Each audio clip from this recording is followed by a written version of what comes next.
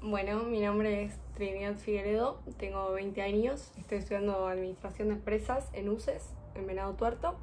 y básicamente mi propuesta consiste en que el transporte público sea abonado con botellas de plástico o con residuos plásticos, em, como es el caso de las botellas, de vasos o de cualquier otro plástico que sea desechable.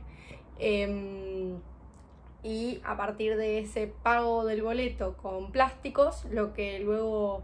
tendríamos que hacer es subastar ese plástico a distintas recicladoras y con el dinero ganado financiaríamos distintos proyectos para espacios verdes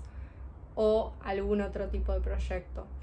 Em, bueno, básicamente esa es mi propuesta y creo que estaría muy bueno implementarlo en la ciudad con el fin de promover eh, el cuidado del medio ambiente y además aumentar el uso de em, este transporte público.